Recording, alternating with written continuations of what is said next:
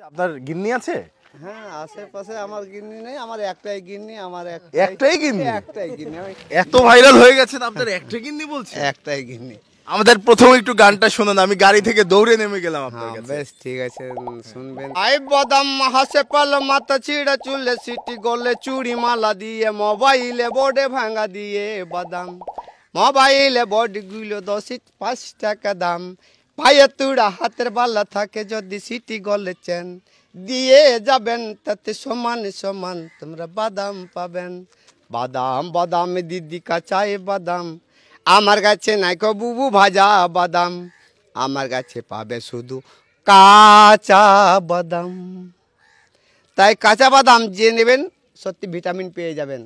ভেজে দিবে ভিটামিন পুড়ে যাবে, ছাই হয়ে যাবে, কিন্তু ভাজা বাদাম খেলে গ্যাস হবে।